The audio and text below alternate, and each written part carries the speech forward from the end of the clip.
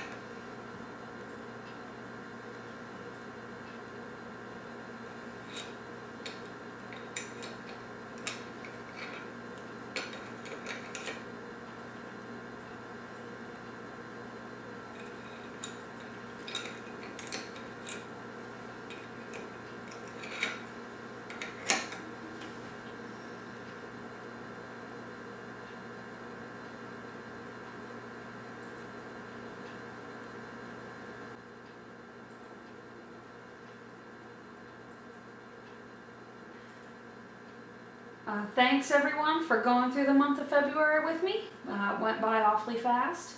If you'd like to see March or you have any other suggestions for this type of video, please leave it in the comments section below. Uh, thanks very much for watching.